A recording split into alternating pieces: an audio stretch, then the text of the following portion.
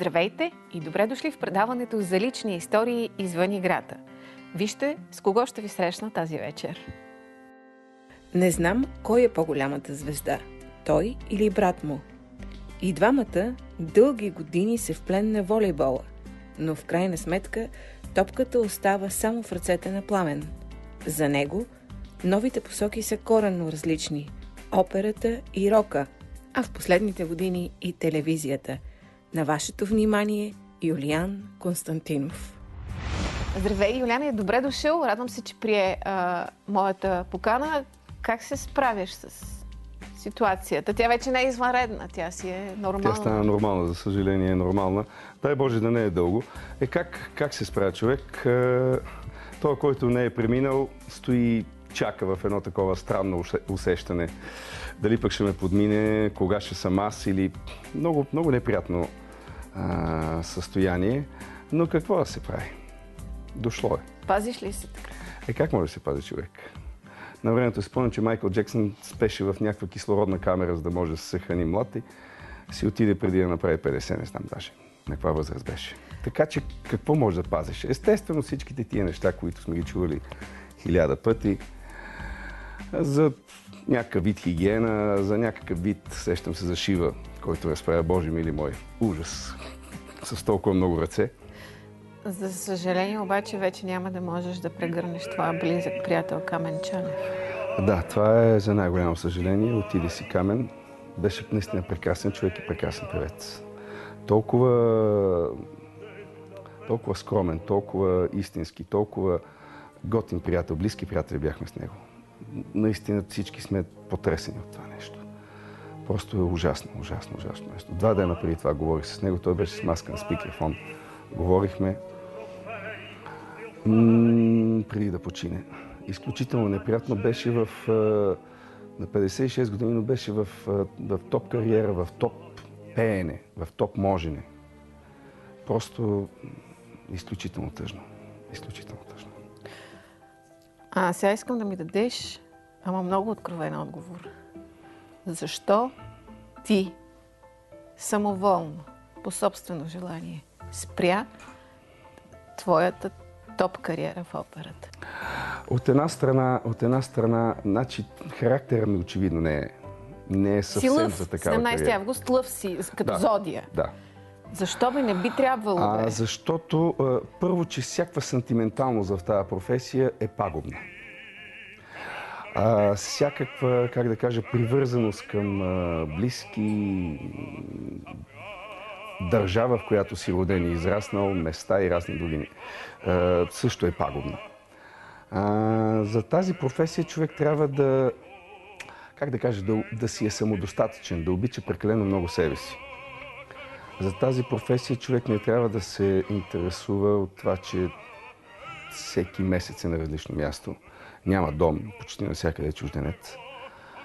Това е едната, едната страна на нещата. Другата страна е, че малко ми мина спортния хъс, ако мога така да кажа. Как ще ти мине спортния хъс в разцвета на кариерата ти? Мина ми спортния хъс, защото малко бях като на състезание трябва и в този театър да отида, трябва и тази роля да изпее, трябва и с този диригент да работя, трябва и това и това. В един момент, когато минах през всичките неща, които можеше да се минат, в смисъл всички топ театри, става въпрос не първокласния топ театър, и първокласни театри, през всички най-добри диригенти, които в момента работеха опера, изпях почти всички роли, може би без две, които най-много съм искал да изпея. Кои? А, кои са двете, които още не съм изпял? Които... Да, двете, които още не съм Добре изпял го каза, още не си го изпял, значи да. може да ги изпееш. О, може, разбира се. Това са а, Досифей в Хованщина и Мефистофел в Мефистофел на Бойто. Това са двете роли, които от всички, примерно 20-30 роли, които съм искал да изпея, а, не, съм, не, не съм изпял и тогава не бях изпял. И ми се мина, малко ми мина тази, как да кажа, този спортен хъс, да вземеш и това, да завоюваш и това, да отидеш и тук, да направиш едно, второ, трето. Това са нещата. И пак казвам, много, много, много други. А, странното е, че аз бях в а, а, без никакъв проблем, без никакви гласови проблеми. Без никакви проблеми с ангажиментите. Имах ангажименти за две години напред, които отказах. А, а после, когато а, мина едно известно време, минаха 5, 6, 7 години, когато вече исках пък да се а, върна, а, тогава вече аз не можех да пея по този начин. И мина доста време от това пък време, докато се върна в състоянието, в което съм готов наистина пак да, да пея. И аз се върнах в това състояние преди около две години, две години и половина. Целият този период, десетина години, аз имах наистина а, невъзможност да пея както мога да пея, по принцип. И както трябва. И сега вече имаш желание? Сега вече, от, слава Богу, от две години, две години и половина, да. Сега имам, обаче няма къде. То пък дойде това. Сега аз а, изобщо не съм, разбира се, тесен специалист в операта, но имам приятели, а, на чието мнение се доверявам, е, с които като си говоря много им вярвам. Юлиан беше гласът на нашата генерация. Истински централен бас, красив, дълбок и мощен в целия регистър. Такива все по-рядко се срещат, а у нас отдавна няма. Липсва ми гласът му. Дарина Такова. Да. Дарина, не дай да говориш в минало време. Ще бъде. Дарина си спомни, че а, може би в Софийската опера а, си дебютирал като Раймондо в Лучия Дила Мермур с нея. Това беше, това беше втората ми партия или третата. Първата беше Сивилския веснар. Още бях студент, 92 година. А, и дебютирах с Сивилския бръснак с една студентска група. Всичките бяхме студенти. А, после, след като свърши консерваторията, една година бях без работа. И на следващата година разбрах, че има прослушване в операта. Явих се на това прослушване. А, Руслан Райчев, големия диригент, Руслан Райчев беше директор на операта.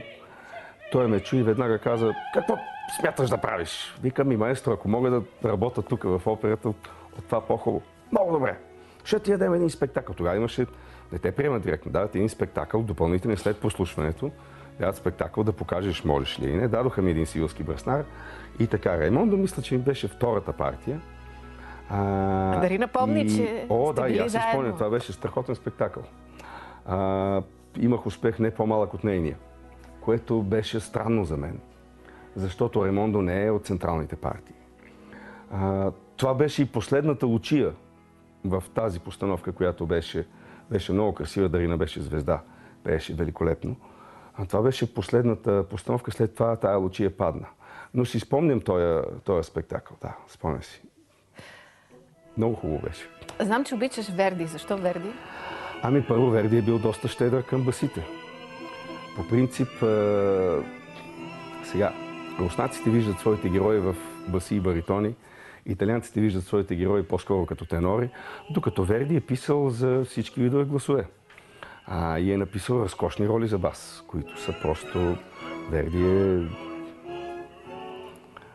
изключител, изключително, изключително удоволствие да пееш Верди. И за това, че има какво да пееш. Да речем Почини, който също е голям композитор, няма нито една роля за бас. Всичките му роли са минаващи така, незабележими, докато Верди има страхотни роли. Верди има Филип, има Закария, има Атила, има какво ли не, те са много, страшно много ролите. Любимите ми на Верди все пак предпочитам, предпочитам Дон Карлос, Филип, предпочитам Симон Буканегра, Фиеско.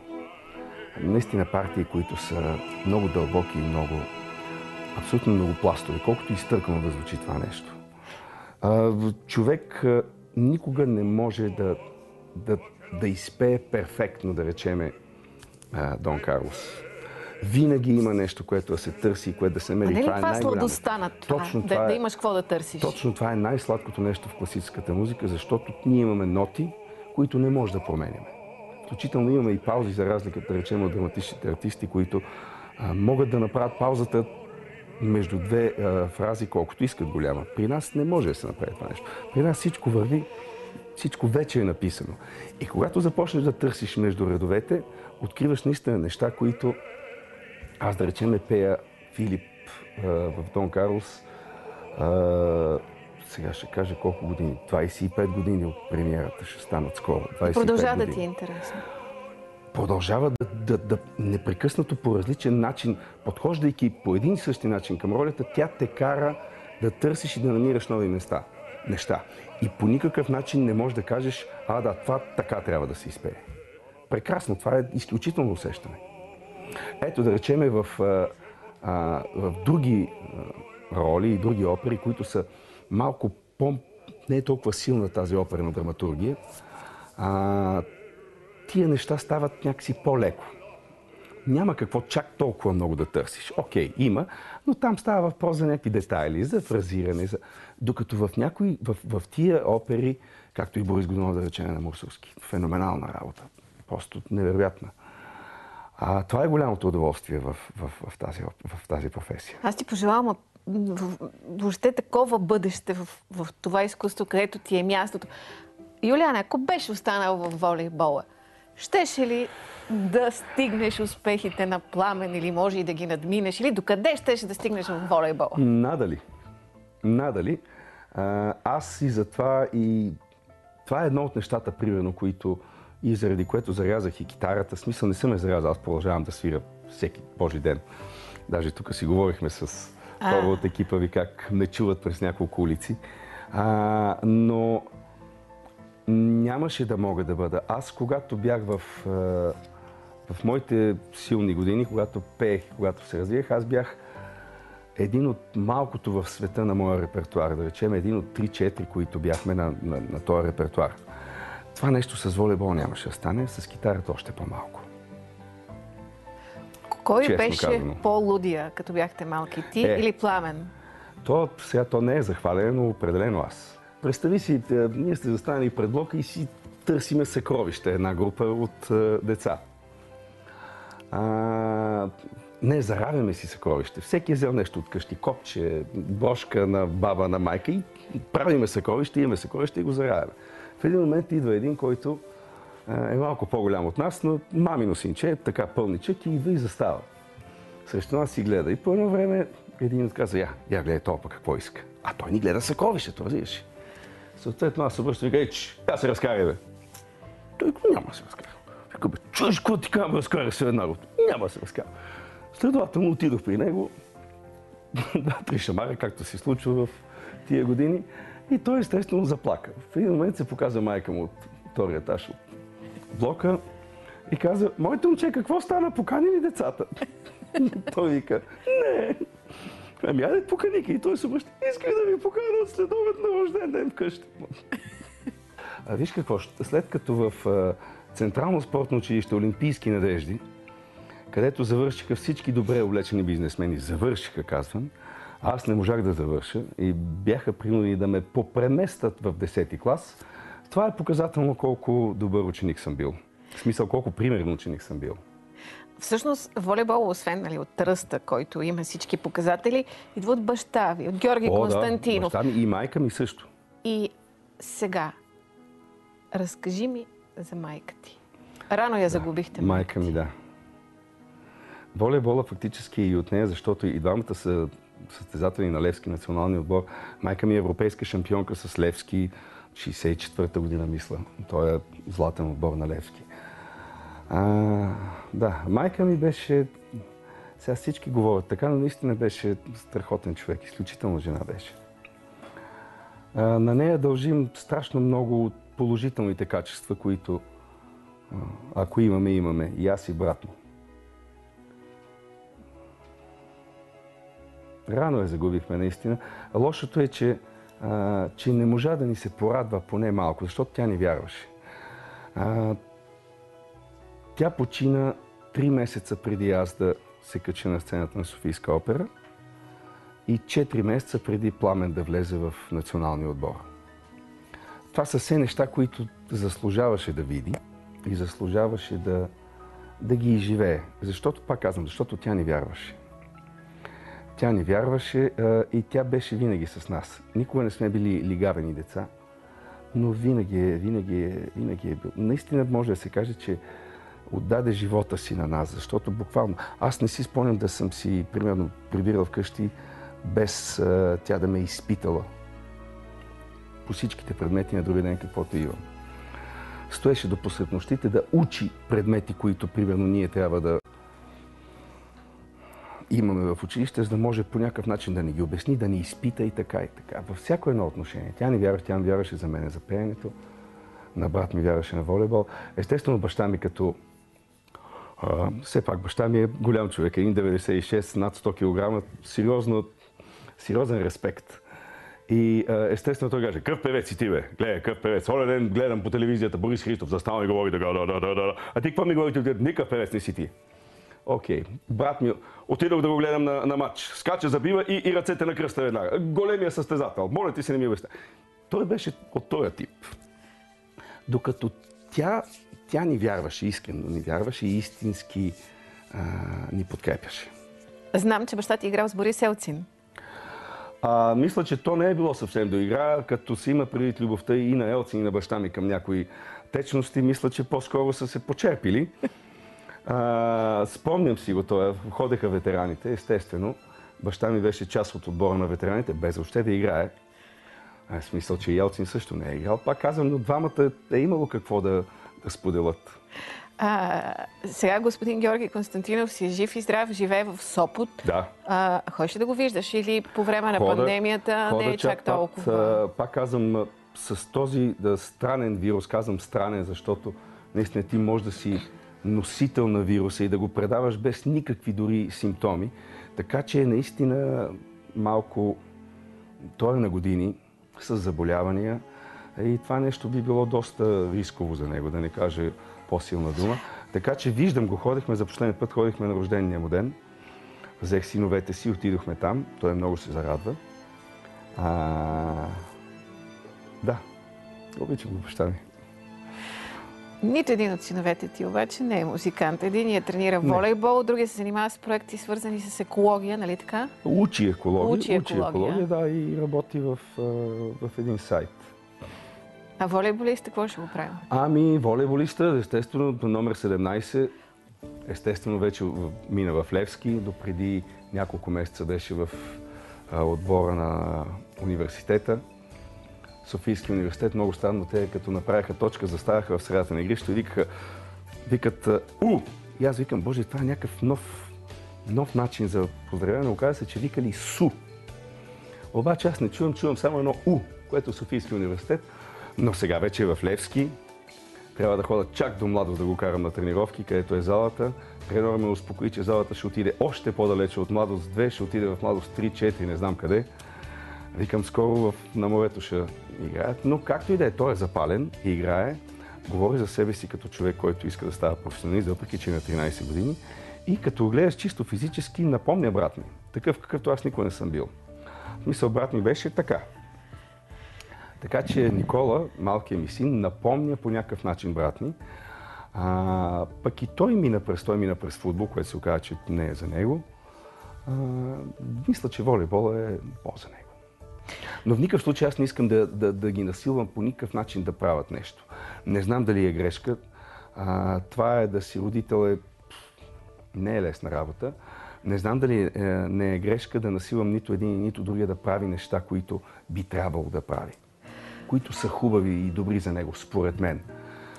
Но пак казвам, трудно е да си родител. А... От тази гледна точка. Слава Богу, децата са ми прекрасни, наистина. Казвам го не за нещо друго, но в сравнение с съсета, аз какъв съм бил, просто са разкошни. Обичам ги и двамата страшно много. Сега за любовта няма те питам, защото те Тия ни писаха, че си разтръгнал брака си с съпругата си. Аз си знам, че това отдавна се е случило. Не е точно сега. Да, да, да. То, то и не е никаква новина това. Нас, да, никаква да. новина. Не, най-малкото за мен не е новина. Но това случват се такива неща, но пък а, има и някои а, много положителни неща от това нещо, защото а, аз де-факто пропях в момента, в който вече не живеехме заедно. Което... Айде стига се, жената ти е била виновна, че не си пел. А, е, не. Моля не, ти аз се. казах, че пропях с гласа, който беше моя глас. Че не... Ами, сега не знам. Добре. Искам да те питам нещо друго. Откъде ти е тази страст да правиш макети на самолети. Обаче Ух. така да ги изпипваш. Да ги, е, Пламен ми разказа, той лепи, поядисва, ама до, до най-малкият детайл все едно са истински. Ето така трябва да бъде. Тая страст започна още в детските ми години, когато имаше такива източно-германски макети на самолети. Бяха на две места. Имаше един магазин Есперанто, който се намираше на а, парка Заимов от другата страна. Сега е някаква, те не знам какво е, баничарница или какво. И в ЦУМ. ЦУМ на втория етаж, естествено. Просто невероятна красота за мен бяха тия. Това беше първия етап. А, баща ми трудно ги издържаше. Те бяха на, на гардероба на спалнята и той търсеше повод да... И си спомням при едно преместване, ги сложи в едни кашони. А те са толкова Финни, деликатни да. и финни, че общо взето нищо не ставаше от тях. Това беше първата ми а, фаза. Втората фаза, след тук промените, отвориха някои магазини и пуснаха някакви самолети, които до тогава нямаше.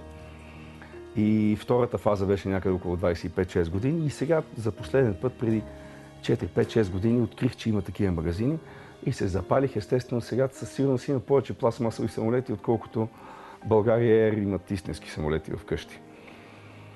А, голяма страст. Красота, разбираш, самолета от една страна е изключително красиво създание. Той има някаква, а, как да кажа, някаква елегантна мощ. Окей, локомотива също е мощен, но някакси Е, не е друго е самолета. Да. Самолета е красиво нещо. Облаците, въобще всичко Ние едно време е- с брат ми само се, защото и той обича много, и той е запален по самолетите, и само се казахме, ало, брато, летях с MD-11. Ей, как е, брато? Е, така е, така, след малко. Брато, аз летях с Airbus, примерно 340. А, а това. Разбираш, и се надпреварахме кой с какъв самолет в повече е летял. Аз естествено има няколко самолета, който, а, които, с които съм летял и той по обясними причини не може да, е летял. Да речем, си спомням, че точно като се роди той, аз и баща ми отидохме на Слънчев бряг. А, е, още той, между другото, до, до, до, до някъде 15-16 годишната си възраст ни напомняше това нещо, защото държавата тогава даваше 200 лева за второ дете. И се говореше така, че той се родил, видиш ли, баща ми взел тия пари и с мене отиваме на Слънчев бряг. И той доста често пламен говореше, че а, вие като ми върнете тия пари, дето ми ги взехте, ето държавата ми ги е дала за мен, дет съм се родил. Та, аз тогава се изпомням, че се возих на Ил-14 от София до Бургас. А, усещането беше, а, една седмица след това главата ми беше така от, от шума. Старите самолети бяха по-различни. Работиш вече години в телевизия. Чувстваш ли се в телевизията професионалист? Не знам. Нито имам някакви... Те да знам. Нито съм учил това нещо, нито имам някакви качества, които да са специално за телевизия. Нито мога да се нарека по никакъв начин журналист. Така че това е някакво стечение на обстоятелствата. В смисъл, какво значи това? Окей, всеки ден съм от едно известно време се върта по, по телевизиите, но това не означава, че съм телевизионер, както се казва. Много верен приятел. Възхищавам се на точната му преценка за хора и събития. Свръхкритичен първо към себе си и после към другите. Искам го в живота си, в работата си, в купоните, в бленувания тимбилдинг. За тимбилдинга ти знаеш за какво става въпрос. Гала. Ай, сладката. Гала е страхотна. Гала е просто невероятна. Наистина е удоволствие за мен е тази работа там. Честна дума казвам. Наистина го правя с, с удоволствие, защото абсолютно целият екип, всички до един, са страшно симпатични, страшно приятни за работа. А, и наистина не го усещам като... Не е работа това, което се казва. Остава ли ти време да свириш на китара? А, разбира се, че ми остава време. Сега Явор Калоянчев, тук е нашия Да. оператор, с който сте съседи, разказва, че като свириш целият квартал слуша. За съжаление. И имаш да. голяма колекция с китари. Да. Не искам Колко да я наричам имаш? колекция. Ами не знам. Честна дума, не знам колко, колко е бройката. Ма някъде, да, не знам, може и 15 на китари имам. Защо китара? Ами защото, как защо китара? Защото това е изключително удоволствие да, да свириш и да слушаш. А, спомням си още първия път, когато чух а, такава музика. Баба ми свиреше на пиано вкъщи. Тя е аматьор, но тя свиреше Шопен, свиреше класика, такива работи. А, пак казвам, не е била професионалист. А, от дете, ако става въпрос за някаква музика да съм закърмен, то по-скоро е с класическата музика. Но после се случиха две неща през годините, които първо беше баща ми купи така на модерния касетофон през това време и дойде с две касетки, които му ги беше записал някой друг. На една от касетките в средата на страна А имаше едно парче, което де да знам защо, но само него го връщах и по някакъв начин ме караше да, да го слушам Рок и слушам парче. и слушам. Да, става въпрос, това беше Хей Джон на Джими Хендрикс. Аз тогава не знаех. Но това парче ме караше да го връщам. И после, след тренировките, си спомням един път, а, примерно 2-3 години след това, а, един от а, тренировките каза, че ти слушаш ли Purple? И естествено да не остана по-назад. Бях чувал кой е Purple, мислех, че е човек. Викам, естествено. Ела, ти пусна какво има вкъщи. Отидохме от тях и той ми пусна на една черен унитра, мога да кажа марката, тъй като вече не се ползва. Една черна унитра, която стоеше така а, на една маса и натискаше главата с един нож, за да може да звучи. Пусна ми Made in Japan на Deep Purple. Концерта в Япония от 1972 година. Аз бях като потресен от това нещо. Всичко, което исках да правя в този момент е да слушам такава музика, да свира такава музика и спорта и всичко мина на заден Е, план. Ти имаш две групи, а, в Една си свир- група има. Една Окей. група. А, това, Кокаин. което- Кокаин, разбира се, да. Да. А, иначе в а, това, за което може би знаеш, а, едно парче записах, защото даваха, това беше още, мисля, че тъмън бяха станали промените. И даваха някакви страшни пари, примерно 50 лева или 60 лева за едно парче да запише, защото певеца на групата не може да го запише. Как не, разбира се. Но кокаин си е моята група. Аз съм си я направил, аз а, си свирех. А, даже и сега продължаваме да свирим. Идват светли празници, в каквато и обстановка да живееме. Рождеството дава надежда, дава вяра. Да, разбира се, разбира се, че е така. Разбира се, винаги се надяваш, че ако ще и следващата година ще бъде по-добра по някакъв начин. По-успешна, по... Винаги има тази надежда. Деца вика надеждата, е, някой беше казал скоро, че аз не вярвам в надеждата, надеждата е най-тъпото нещо. Това е глупо, според мен. Надеждата е нещо прекрасно. Едно от нещата, които ни дава дава ни въздух по някакъв начин. Как ще прекараш празниците? Къде ще бъдеш? Е, надявам се да се събереме една част от семейството. Не знам дали ще отида при баща ми. Пламен ще дойде ли от Русия? Но, надявам се, надявам се. Не знам как е. Те, ти знаеш, че с тези... Сложно е вече, сложно е. Сложното е, че и празниците ни, въпреки че сме православни, и празниците ни се разминават с две седмици. Руснаците са по-късно Да. от нас, те са по друг календар и затова дори на тия празници, които, са, които би трябвало да са общи, те празнуват малко по-късно. А, хубаво, хубаво беше. Имаше години, в които наистина се събирахме цялата фамилия. За съжаление, колкото повече минава времето, толкова по-уредяват тия а, сбирки, но да, да се надяваме на една хубава коледа. Благодаря ти, че дойде в БНТ и в а, извън играта. А, пожелавам ти, разбира се, да си здрав, да не те застига тази ужасна болест covid и ти пожелавам да продължиш кариерата си в операта, защото, както казва Дарина Такова, това беше гласът на нашата генерация. Трябва да продължиш, човече. Разбираш Голямо ли? удоволствие, разбирам. И аз го искам. Благодаря ти. Благодаря и аз. Това беше всичко в днешното издание на предаването Извън играта. Довиждане, ще се видим следващата събота.